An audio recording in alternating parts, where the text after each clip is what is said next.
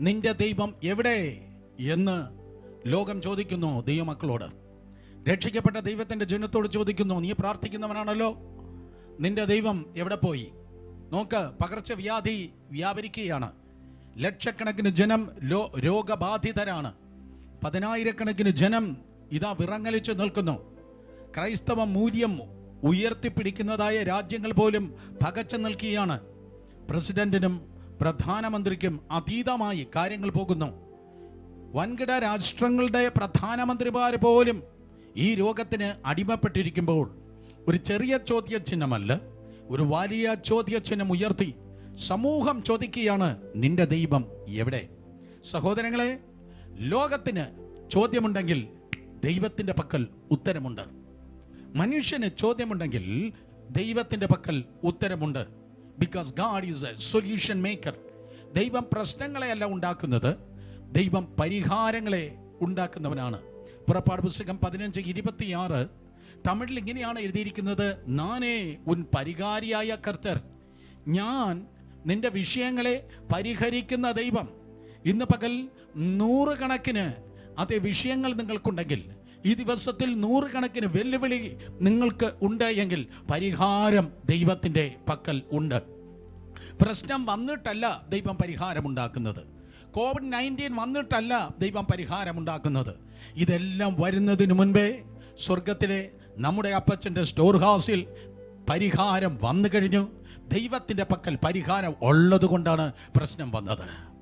വേദപുസ്തകം പഠിപ്പിക്കുന്നു. മോശയുടെ കയ്യിൽ ഓൾറെഡി ദൈവം വടി കൊടുത്തിരുന്നു. സമുദ്രത്തെ വിഭാഗിക്കേണ്ടതായ വടി മോശയുടെ കയ്യിൽ കൊടുത്തതിന് ശേഷമാണ് ചെങ്കടന്റെ കരയിൽ കൊണ്ടുപോയി നിർത്തിയത്. പരിഹാരം കൊടുത്തിട്ടാണ് പ്രശ്നത്തിന് മുൻപിൽ ദൈവം നിർത്തിയത്. വീണ്ടും നാൽപ്പത് വർഷം കഴിഞ്ഞിട്ട് യോർദാനിൽ വെള്ളം പൊങ്ങിയപ്പോൾ യോർദാൻ നദിയെ വിഭാഗിക്കേണ്ടതായ പെട്ടകം പുരോഹിതന്റെ തോളിൽ കൊടുത്തിട്ടാണ് യോർദാൻ നദിയുടെ കരയിൽ ദൈവം നിർത്തിയതെന്ന് നീ അറിഞ്ഞോ ഇല്ലയോ എന്ന് എനിക്കറിയത്തില്ല. ഈ നാളുകൾ നിന്റെ മുൻപിൽ ഒഴുകുന്നതായ സകല വെല്ലുവിളിക്കും.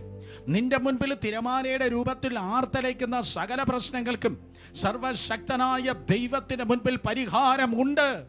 പരിഹാരമുള്ളത് കൊണ്ടാണ് അതെ ദൈവം ആ പ്രശ്നത്തെ അനുവദിച്ചത്. പക്ഷേ ലോക മനുഷ്യർക്ക് അത് അറിയത്തില്ല. അതുകൊണ്ട് ചില സന്ദർഭങ്ങളിൽ ദൈവം എവിടെയെന്ന് അവർ ചോദിക്കാറുണ്ട്. തിരുവേദനത്തിന്റെ ഒരറ്റം മുതൽ മററ്റം വരെ നിങ്ങൾ നോക്കുമ്പോൾ പല ഗാളി സൈലൻസ് നിങ്ങൾക്ക് കാണുവാൻ കാണാൻ കഴിയും. ദൈവദത്തമായ ചില നിശബ്ദതകൾ. സൃഷ്ടിയുടെ ആരംഭം തന്നെ നോക്കിയാട്ടെ. ഉൽപ്പത്തി പുസ്തകം രണ്ടാം അധ്യായം ഒന്ന് രണ്ട് വാക്യങ്ങൾ പറയുന്നു ആറ് ദിവസം കൊണ്ട് ദൈവം ലോകത്തിലുള്ള സകലതിനെ സൃഷ്ടിച്ചു. ആറാം ദിവസം ദൈവം മനുഷ്യനെയും സൃഷ്ടിച്ചു.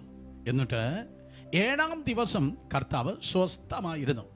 ഏഴാം ദിവസം കർത്താവ് സ്വസ്ഥമായിരുന്നത് ദൈവം അതെ ടയർഡായത് കൊണ്ടല്ല ദൈവം ക്ഷീണിച്ചത് കൊണ്ടല്ല ആറ് ദിവസമായി ഇത്രയും ദൈവം വർക്ക് ചെയ്ത് ഇതിനെല്ലാം സൃഷ്ടിച്ചിട്ട് അതെ ദൈവം ക്ഷീണിച്ചത് കൊണ്ടല്ല ഏഴാം ദിവസം ദൈവം സ്വസ്ഥമായിരുന്നത്.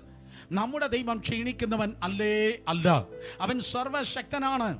എൽ ഷഡായ് എൽ ഏലിയോൻ അത്യുന്നതനായ ദൈവം സർവശക്തനായ ദൈവം അവൻ ക്ഷീണിക്കുന്നില്ല. നിന്റെ ദൈവം ഞാൻ പ്രസംഗിക്കുന്ന കർത്താവ് നീ വിശ്വസിക്കുന്ന ദൈവം അവൻ ക്ഷീണിക്കുന്നില്ല. അവൻ വയസ്സാകുന്നില്ല അവൻ പെൻഷൻ പറ്റുന്നില്ല അവൻ കണ്ണട ഉപയോഗിക്കത്തില്ല അവൻ വാക്കിംഗ് സ്റ്റിക്ക് എടുക്കത്തില്ല. യേശു ക്രിസ്തു ഇന്നലെയും ഇന്നും എന്നേക്കും അനന്യനാണ്.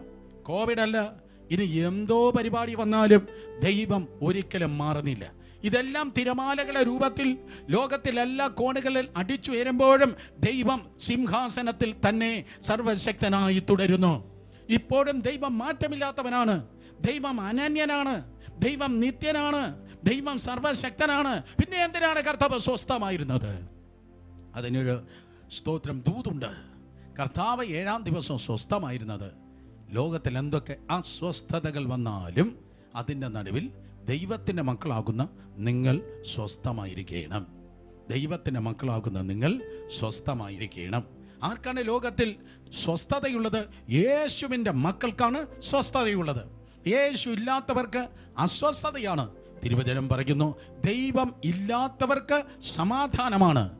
പകരം സമാധാന പ്രഭുവിന്റെ സാന്നിധ്യമുള്ളവർക്കാണ് സമാധാനമുള്ളത്. കർത്താവ് അത് ചെയ്ത് കാണിക്കുകയുണ്ടായി. രണ്ടായിരം വർഷങ്ങൾക്ക് മുമ്പ് തിബരിയാസ് കടലിലൂടെ യേശു കർത്താവ് തന്റെ ശിഷ്യന്മാരുമായി യാത്ര യാത്രയാകുകയാണ്. ആ യാത്രയിൽ യേശു ഉറങ്ങി കാറ്റടിക്കുന്നു തിരമാല പൊങ്ങുന്നു തിരമാല പൊങ്ങി കാറ്റടിച്ച് ആ കടലിൽ കിടന്ന് ഒരു ചെറിയ വഞ്ചു പോലെ ചെറിയൊരു പേപ്പർ ബോട്ട് പോലെ ആ ബോട്ടും പതിമൂന്ന് പേരും ഇതാ ഇളകിയാടുകയാണ് ആ കടലിനെ നന്നായി പരിചയമുള്ള പത്രോസ് ഉൾപ്പെടെയുള്ളവർ നിലവിളിക്കുകയാണ്. ആ കൊടുങ്കാറ്റിന്റെ നടുവിലും കൂറ്റൻ തിരമാലകളുടെ നടുവിലും പന്ത്രണ്ട് പേർ നിലവിളിക്കുന്നു. ഒരാൾ മാത്രം തലേണ വെച്ച് ഉറങ്ങുന്നു. അങ്ങനെയാ ബൈബിൾ പറയുന്നത്. തലയണ വെക്കാതെയായിരുന്നെങ്കിൽ മയങ്ങി എന്ന് പറയാം. തലേണ വച്ചത് കൊണ്ട് ഉറങ്ങി എന്ന് പറയാം. യേശു ഡീപ് സ്ലീപ്പിലായിരുന്നു. യേശു നല്ല ഉറക്കത്തിലായിരുന്നു. എപ്പോൾ? ഭയങ്കര തിരമാലയും കൊടുങ്കാറ്റും അടിക്കുമ്പോൾ. അതാണ് നിങ്ങളുടെയും എന്റെ ജീവിതത്തിൽ വെളിപ്പെടേണ്ടത്. പ്രശ്നം വരുമ്പോൾ അനുഭവിക്കുന്നതിന്റെ പേരാണ് ദൈവിക സമാധാനം. പേപ്പർ വാച്ചും കൂടുതൽ നേരം ടി വിയും കണ്ട് നെഗറ്റീവ് ന്യൂസ് കേട്ട് അവിടെ മരണം ഇവിടെ വെന്റിലേറ്റർ ഇല്ല മറ്റിടത്ത് സെമിത്തേരി സ്ഥലമില്ല ഇതല്ല നീ കൂടുതൽ നിന്റെ തലയിൽ നിന്റെ മനസ്സിൽ നിറയ്ക്കേണ്ടത് എന്റെ ദൈവം മരണത്തെയും പാതാളത്തെയും ഉയർത്തെഴുന്നേറ്റ് ജീവിക്കുന്നു എന്ന ദൈവിക സമാധാനത്തിൽ നിറഞ്ഞാടേ